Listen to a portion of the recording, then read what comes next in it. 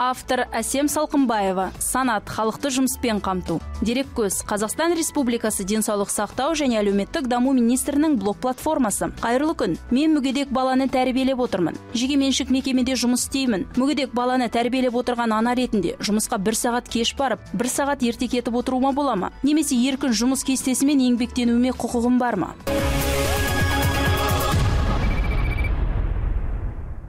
Құрметті әсем қазақстан республикасы еңбек кодексінің жетпіс төртінші бап екінші тармақ екінші тармақшасына сәйкес икемді жұмыс уақыты режимінде жұмыс істеу икемді жұмыс уақытын талап етеді. Ол уақыт ішінде қызметші міндетін қалай атқаратынын өзі біледі. Мысалы икемді жұмыс уақытын мүгедек бала тәрбиелеп отырған әйелдер қолдана алады сонымен қатар кодекстің жетпіс екінші бабына сәйкес күнделікті жұмысты бөліп өтеу келесі жағдайда қарастырылады. Түрлі қарқындағы жұмыс кезінде қызметшінің талабы бойынша әлеуметтік тұрмыстық және жеке қажеттіліктеріне байланысты. Күнделікті жұмысты екіге бөлу жұмыстағы үзіліс саны мен ұзақтығы. Сондай ақ өтемақы төлеу еңбек және ұжымдық келісім шартымен реттеледі. Осылайша икемді жұмыс уақытын белгілеу екі тараптың келісімімен жүзеге асады.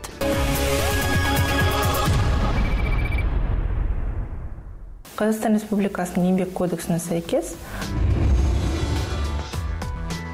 жұмыс уақыты қалыпты толық емес және қысқартылған деп қарастырылған.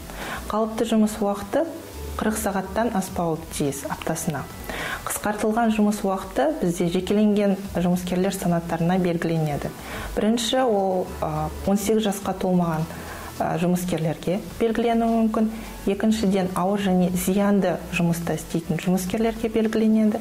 Үшіншіден бірінші екінші топтағы мүгедектерге белгіленеді. Қысқартылған жұмыс уақыты аптасына 36 сағаттан аспауға тиіс. Толық емес жұмыс уақыты екі негізде белгіленуі мүмкін.